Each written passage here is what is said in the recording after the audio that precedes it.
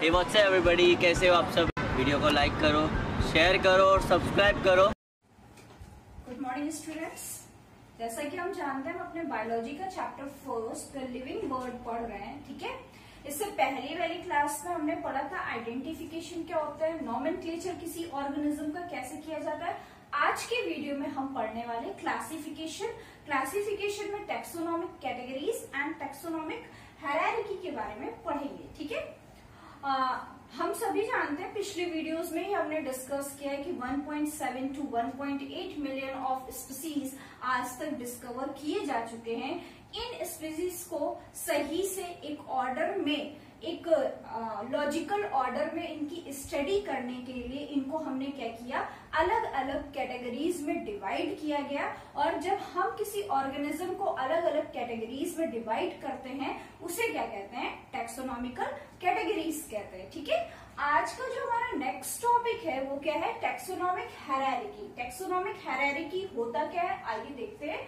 System of arrangement for classification in which organism are placed in order of logical uh, sequence. एक ऐसा arrangement classification का जिसपे organisms को क्या order किया जाए किस बेसिस पर? लॉजिकल सीक्वेंस के बेसिस पे जब हम ऑर्गेनिजम्स को ऑर्डर कर देते हैं उसे क्या कहते हैं? टेक्सोनॉमिकल हेरारिटी कहते हैं ठीक है? Each category referred to as a unit of classification represents a rank. सभी जितने भी कैटेगरीज आप पढ़ेंगे, इसमें यूनिट ऑफ़ क्लासिफिकेशन में ये रिप्रेजेंट करती है क्या? रैंक को रिप्रेजेंट करती है, ठीक है? रैंक हायर भी हो सकता है रैंक लोअर भी हो सकता है, ठीक है? And is commonly termed as taxon और इन कैटेगरीज को जब वो रैंक पर कैटेगरीज कर दी जाती है क्लासिफाई कर दी जाती है, तब हम उसे क्या कहते हैं? टैक्सॉन कहते हैं, ठीक है? ये आपको याद रखना है।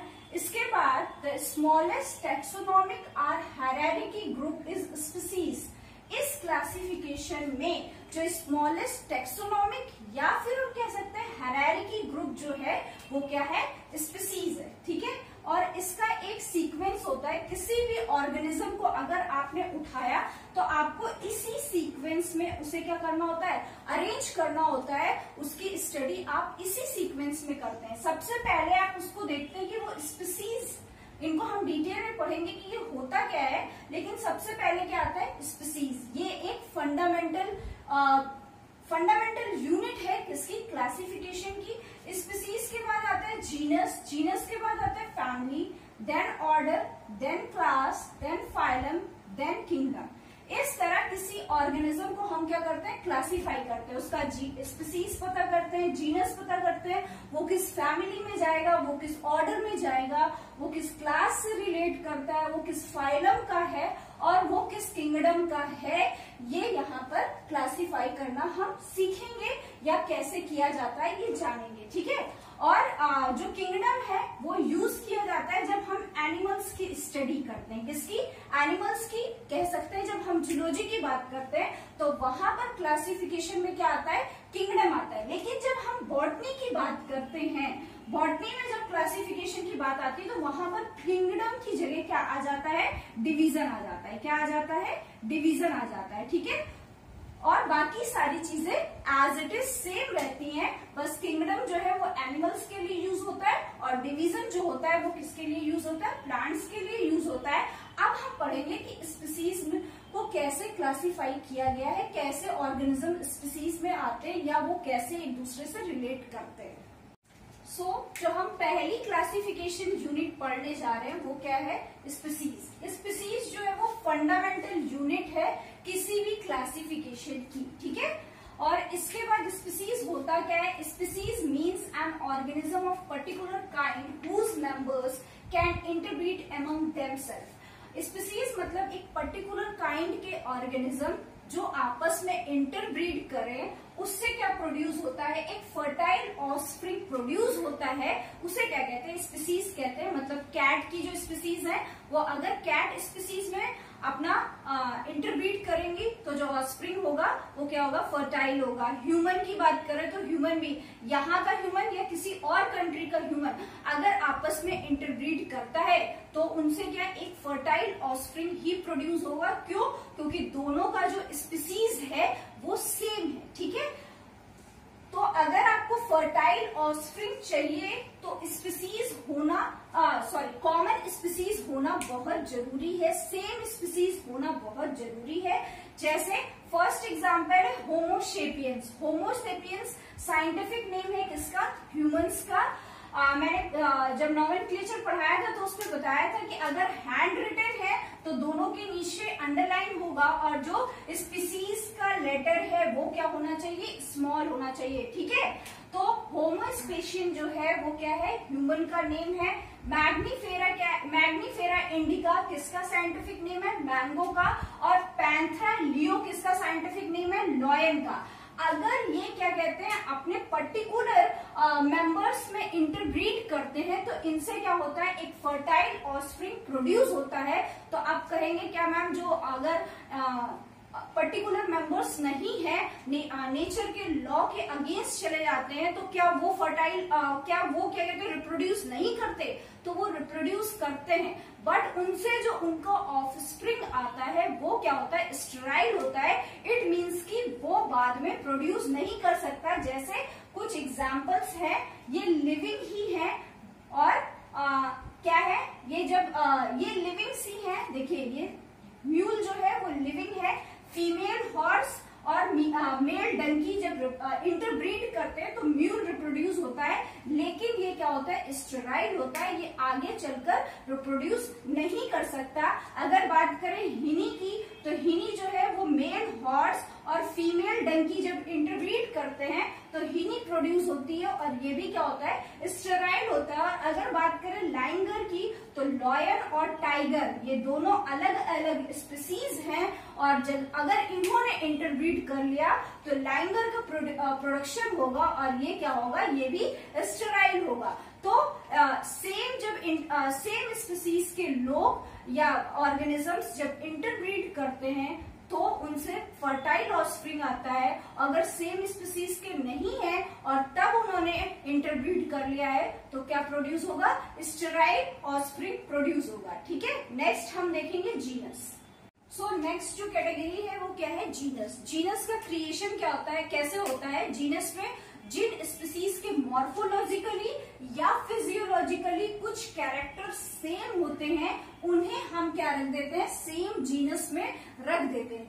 ठीक है? इसकी डेफिनेशन है, genus comprises closely related species in ancestral relationship and with more or less morphologically and physiologically features जब कुछ मॉर्फोलॉजिकल एंड कुछ फिजियोलॉजिकल फीचर्स मिल जाते हैं कॉमन कैरेक्टर्स मिल जाते हैं तो उन्हें किसमें रख देते हैं? सेम जीनस में रख देते हैं। जैसे प्लांट्स में देखिए पोटैटो टोमेटो ब्रिंजल नाम से ही आपको लग रहा है कि इनमें कुछ ना कुछ सेम है, इनके कुछ कैरेक्टरिस्टिक सेम है, ठीक है? पोटैटो का जो साइंटिफिक नेम है, ये सबके साइंटिफिक नेम लिखे हैं सोलेनम ट्यूब्रेसम टोमेटो का है सोलेनम परसिकम एंड ब्रिंजल का क्या है? सोलेनम नाइग्रम ठीक है?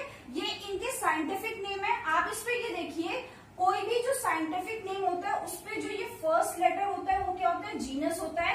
और जो सेकंड लेटर होता है, वो क्या होता है? स्पीसीज होता है। और जीनस और स्पीसीज को जब वो हैंड रिटन होते हैं तो क्या करते हैं हम? अंडरलाइन करते हैं। तो आप यहाँ देखिए, इन सब के टोमेटो पोटैटो एंड ब्रिंजल के जो जीनस है, वो क्या है? सेम है।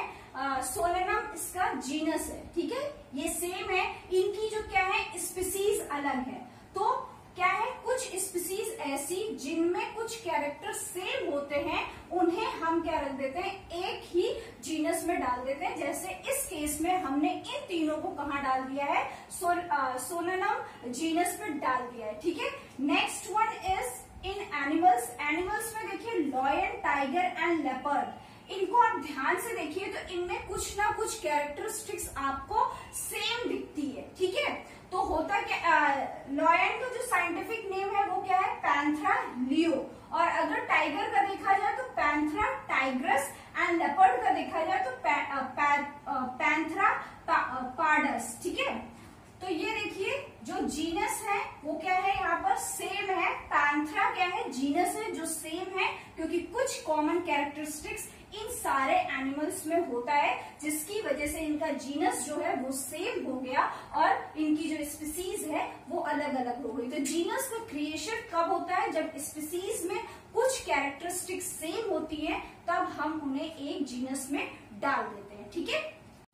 नेक्स्ट टेक्सोनॉमिकल हैरार्की जो हम पढ़ने जा रहे हैं, वो क्या है? फैमिली अब फैमिली कैसे क्रिएट होती है? A group of genera with certain common characteristics form of family family कैसे क्रिएट होती है? जो जेनरा जिन uh, कुछ जेनरा जिनके कॉमन कैरेक्टरिस्टिक्स सेम होते हैं उनको जब हम साथ में रख देते हैं तो क्या क्रिएट हो जाती है? फैमिली क्रिएट हो जाती है। मतलब कुछ जेनरा जिनके सर्टेन कैरेक्टरिस्टिक सेम है उन्हें हम साथ में रखेंगे तो क्या क्रिएट हो जाएगी? फैमिली जैसे प्लांट में देखिए सोलेना ठीक है? ये एक जेनरा था। प्लेटूना, ये भी एक जेनरा है एंड धतुरा, ये भी एक जेनरा है। इनमें कुछ कॉमन कैरेक्टरिस्टिक सेम है, जिसकी वजह से इनको फैमिली सोलेनेसी में रखा गया है। किस फैमिली में रखा गया है? सोलेनेसी फैमिली में रखा गया है, ठीक है?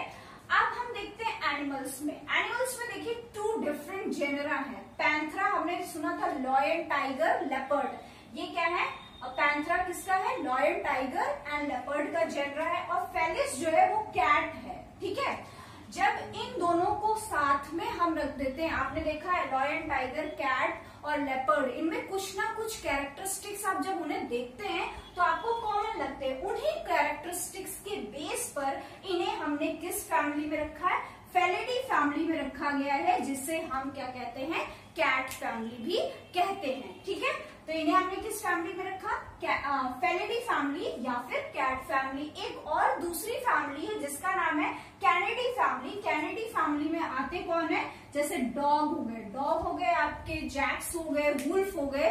ये सब कौन सी फैमिली में आते हैं? कैनेडी फैमिली में आते हैं। तो कैट की फैमिली और डॉग की फैमिली दोनों अलग अलग है। ठीक है?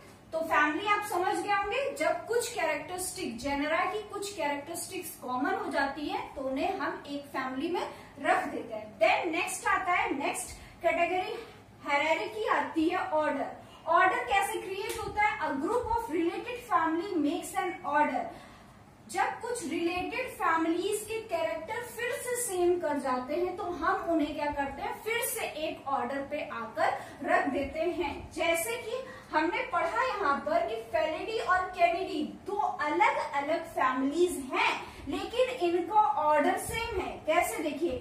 फेलिडी मतलब कैट की फैमिली और कैनेडी मतलब डॉग की फैमिली इनको हमने किस ऑर्डर पे रखा? कार्निवोरा ऑर्डर में रखा। मतलब कि कार्निवोरा आप सभी जानते हैं कि एनिमल्स को बेसिकली तीन पार्ट्स में डिवाइड किया गया हर्बीवोरस कार्निवोरस एंड ओमनीवोरस तो यहाँ इन्हें कार्निवोरा ऑर्डर में रखा गया है क्योंकि ये दूसरे आ, दूसरे एनिमल्स का क्या खाते हैं? फ्लैश ईट करते हैं और इनके जो टीथ का स्ट्रक्चर है वो थोड़ा थोड़ा सेम होता है। उनके टीथ जो होते हैं मोस्टली कॉमन होते हैं जिसकी वजह से उन्हें कार्निवोरा फैमिली में रखा गया। फिर अगर हम बात करें प्लांट्स की तो Convolvulaceae family and Solanaceae family इनके कुछ कैरेक्टर सेम है, जिसकी वजह से इन दोनों को कहा रखा गया? पॉलिनोमियल्स ऑर्डर में रख दिया गया। कहाँ पर रखा गया? पॉलिनोमियल्स ऑर्डर्स में रख दिया गया। तो कन्वोलेसी एंड सोलेनेसी फैमिली में कुछ कैरेक्टर सेम होने की वजह से पॉलिनोमियल्स ऑर्डर्स में इनको रख दिया गया। नेक्स्ट हम पढ़ेंगे next category sorry taxonomical hierarchy क्या है? क्लास नेक्स्ट जो टेक्सोनॉमिकल हेरेरिकी हम पढ़ने वाले हैं, वो क्या है? क्लास क्लास में क्या होता है? जब रिलेटेड ऑर्डर्स के बीच में कुछ कैरेक्टरिस्टिक्स कॉमन हो जाते हैं तो उन्हें हम एक क्लास में रख देते हैं, जैसे प्राइमेटा ठीक है? प्राइमेटा में क्या आते हैं? ह्यूमंस आ जाते हैं मंकी आ जाते हैं, ठीक है? और कार्निवोरा हमने अभी पहले पढ़ा ऑर्डर में कि कार्निवोरा में क्या आते हैं? डॉग्स एंड कैट्स आ जाते हैं, ठीक है?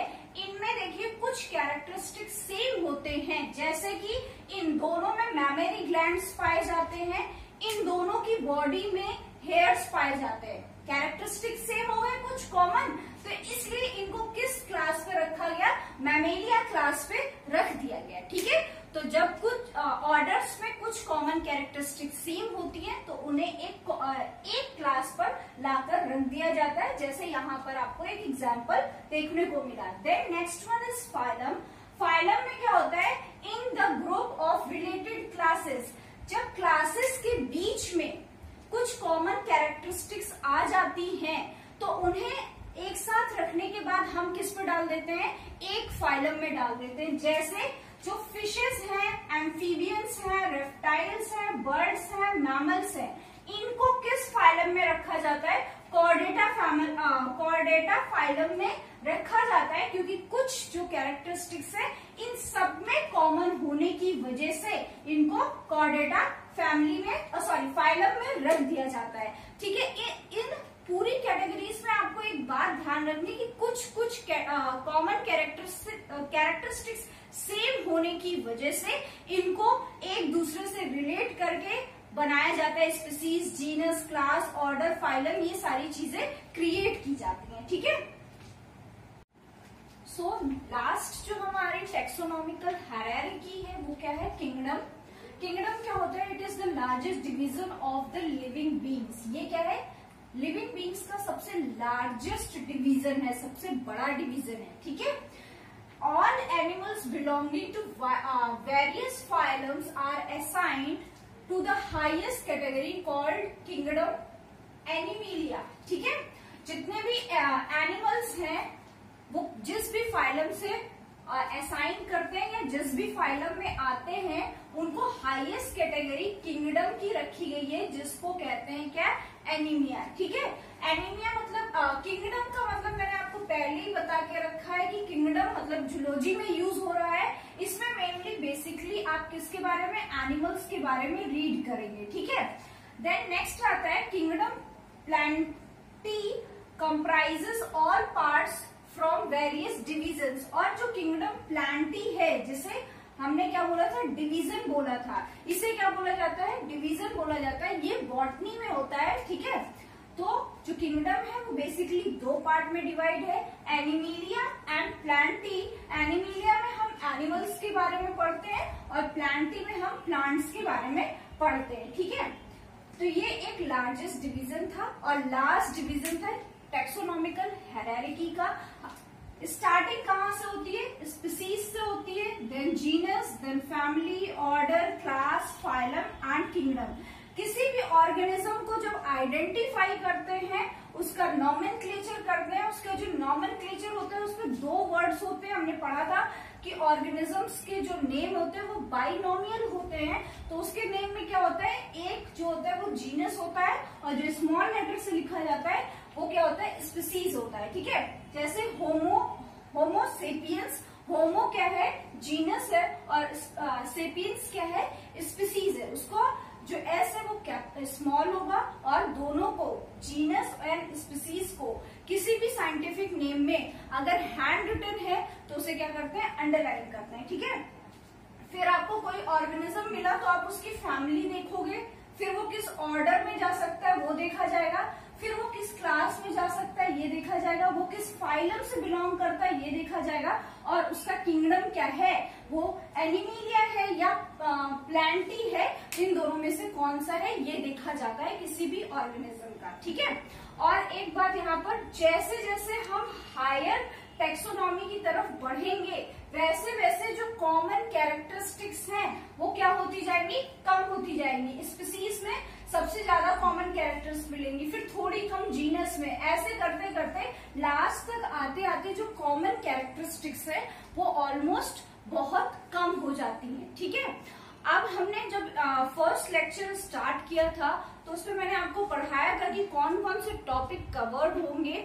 तो उसमें मैंने एक चीज़ लिख दी थी टेक्सोनॉमिकल एड्स इस बार सीबीएसई e ने अपना जो 30 परसेंट सिलेबस रिड्यूस किया है उस पर उन्होंने chapter four the living world का टेक्सोनॉमिकल एड्स को खत्म कर दिया है। मतलब इस बार आपके एग्ज़ाम में टेक्सोनॉमिकल एड से कोई भी क्वेश्चन नहीं आने वाला है, ठीक है? वो टॉपिक आपको नहीं पढ़ना है, ठीक? और जब आप chapter number third and fourth पढ़ेंगे अपनी बुक का यूनिट फ़र्स्ट का, तब आप यहाँ पर देखेंगे कि कई तरीके के ऑर्डर्स होते हैं, कई तरीके की क्लासेस होती है। फाइलम्स भी इलेवन टाइप्स के होते हैं। और क्लासेस भी सिक्स टाइप्स की होती है। इस टाइप से चीज़ों को डिवाइड किया गया है ऑर्गेनिजम्स को डिवाइड किया है, कौन किस क्लास में जाएगा, वो आप आने वाले जैसे जैसे चैप्टर्स पढ़ेंगे, वो चीज़ें आपको क्लियर होती जाएँगी, कौन सा ऑर्गेनिज्म कहाँ पर जाकर उसका क्या क्लासिफिकेशन सही क्लासिफिकेशन होता है, वो आपको पता चल जाएगा। इस चैप्टर में बेसिकली आपको ये जानना था कि species genus family order class phylum kingdom, ये किससे रिलेट करके बनी होती है, ठीक है? और आपको ये जो है, ये पूरा याद होना चाहिए कि इसका सीक्वेंस क्या होता है, ये आपको पूरा का पूरा याद होना चाहिए। आई होप आपको चैप्टर फ़र्स्ट समझ में आ गया होगा। अगर कोई कंफ्यूजन है आपको तो आफ्टर वीडियो आप पूछ सकते हैं, ठीक है? अब आप पढ़ेंगे नेक्स्ट सेकेंड चैप्टर जो होगा बायोलॉजिकल क्लासिफिकेशन इस वीडियो को देखने के बाद जब नेक्स्ट मतलब आप फ्राइडे को वीडियो देख रहे हैं नेक्स्ट क्लास पे आपको इस चैप्टर के सारे एनसीआरटी e के आंसर्स मिल जाएँगे इट मीन्स सैटरडे को, ठीक है? और जब नेक्स्ट वीक आएगा, तब आपका second chapter biological classification start